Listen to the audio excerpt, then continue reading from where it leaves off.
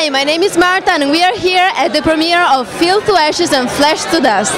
We are here with one of the characters in the movie, and so tell us how was working this project. Oh my God, I had a blast. This was my first independent feature, and um, it was it was terrifying. It was amazing. It was every day. It was a challenge, and uh, I had a great time. I had a great time.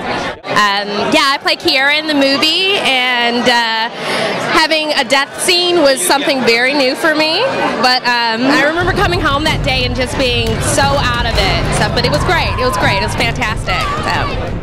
What about your new projects going on? So right now I just wrapped another independent feature. Uh, it's called Sex Absurd um, with a couple of artists out of Silver Lake, and um, they're friends of mine and stuff. It's got a it's great, yeah. It's being submitted to festivals and all of that, and just kind of living the dream out here in LA. Yeah. Amazing. Yeah. Thank you. Thank Thanks a lot.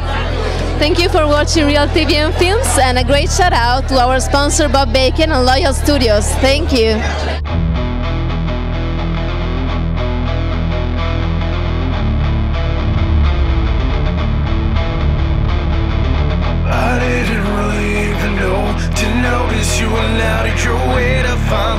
Inside someone. Feel better about yourself.